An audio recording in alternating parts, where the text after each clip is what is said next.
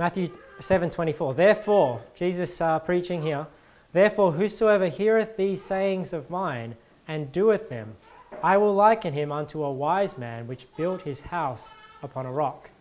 And the rain descended, and the floods came, and the winds blew and beat upon that house.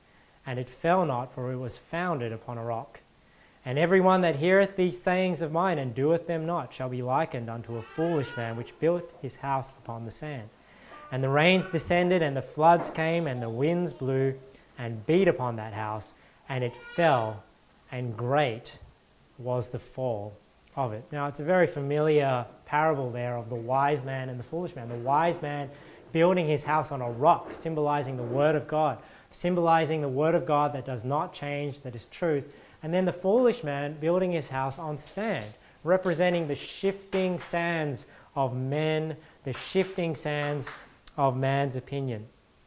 You know, do I think it's wrong or a sin for a church to have a Bible word name? No, I don't. So, you know, I'm not against, I'm not saying that every church must do what we do, otherwise they're in sin, because we're not commanded to name our church the church in Punchbowl. I mean, we can see how God refers to churches in the Bible as the church in a certain location, and we can use that precedent to say, well, this is why I do it, because that's the example I see in the Bible.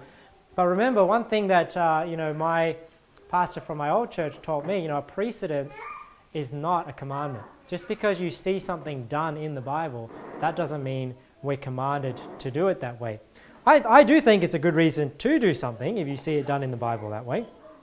So I don't think it's a sin or it's wrong for a church to have a name that's not the church in whatever suburb or city they're, they're, in, at, they're in. But I do think uh, you know, our church name can be backed up by the Bible.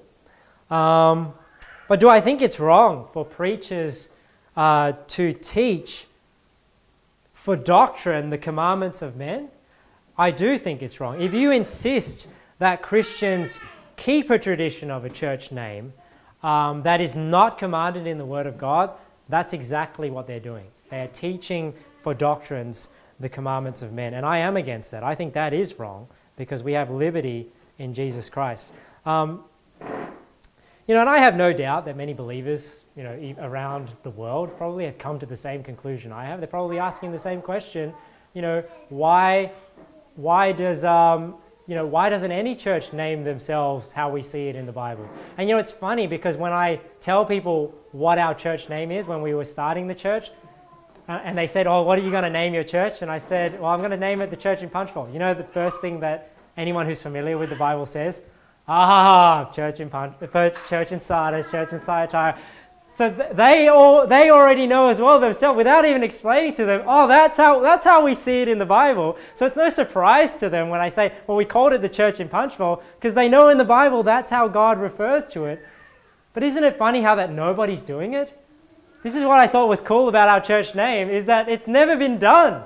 Nobody has ever called their church the church in just whatever city they are even though it's so obvious to anybody that believes the Bible, um, that's what God does. So I, I, have no doubt that a lot of people have come to the same conclusions that I have. You know, are people going to criticize it? You know, they are. You know, are people going to not like it? You know, probably not. Oh, probably yes. You know, are people going to take a while to get used to it? I think so as well. People are going to. I mean, even me. It takes me a while. Even you guys probably. You're probably not even used to saying you go to the church in Punchbowl and, and using that name. But you know, no man having drunk old wine straightway desireth new. If you remember the first sermon I preached, no man having drunk old wine straightway desireth new. So even though we don't desire the new wine, it doesn't mean that we keep drinking the old wine. But um, I just wanted to end there because you know, even though people might criticize it, people might not like it, in my own heart, I feel like I at least have a reason for why the church name is what it is and that it's based on the Word of God. You know, the wise man built his house upon the Word of God, upon the rock, and the foolish man built his house upon the sand, on man's opinion. And you know, that's what I'm striving to do in every area of life is build my house upon the rock.